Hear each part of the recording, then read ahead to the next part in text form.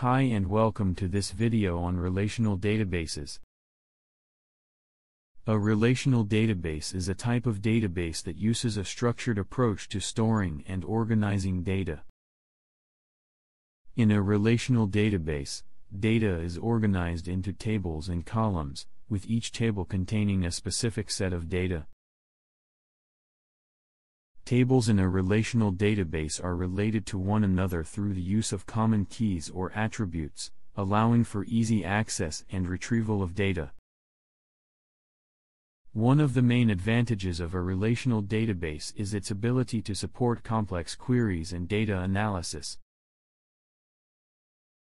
Using a structured approach to organizing data allows for easy querying and analysis of data, making it a popular choice for applications such as accounting and financial systems. Another advantage of a relational database is its ability to maintain data integrity. Because data is organized into tables and columns, it is easier to ensure that data is accurate and consistent across the database. This is important for maintaining the reliability and trustworthiness of the data. In addition to these advantages, relational databases are also scalable and flexible.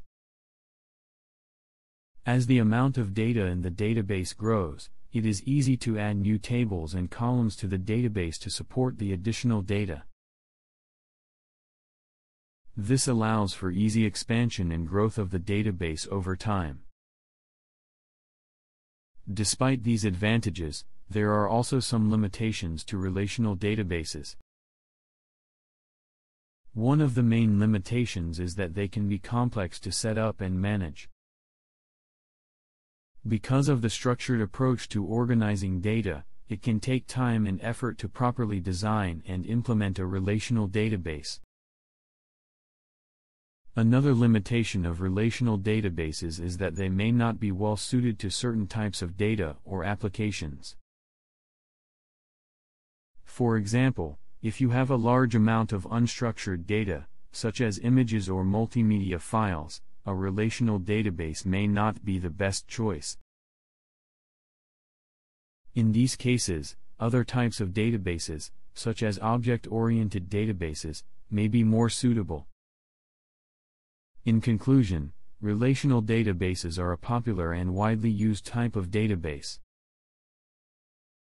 They offer many advantages, such as the ability to support complex queries and data analysis, as well as maintaining data integrity.